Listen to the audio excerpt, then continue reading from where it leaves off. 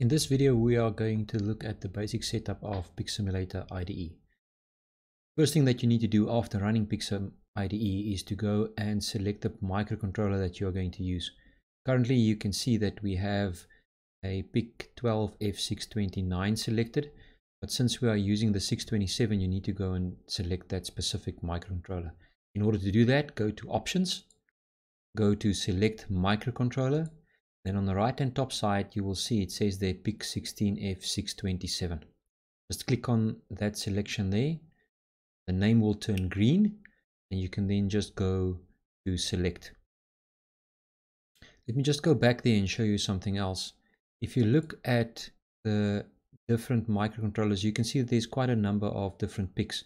You need to select the correct one in order for your program to compile correctly for the one that you want to use double check on your controller to make sure that you have the 627 and not maybe the 627A. If you do have the 627A, just select the 627A in the selection screen. After you've made your selection, you will see that the microcontroller shows that you have the 627, in this case the 627A selected. You can then go to Tools, go all the way down to Assembler, and an assembler window will open up where you can start entering your code.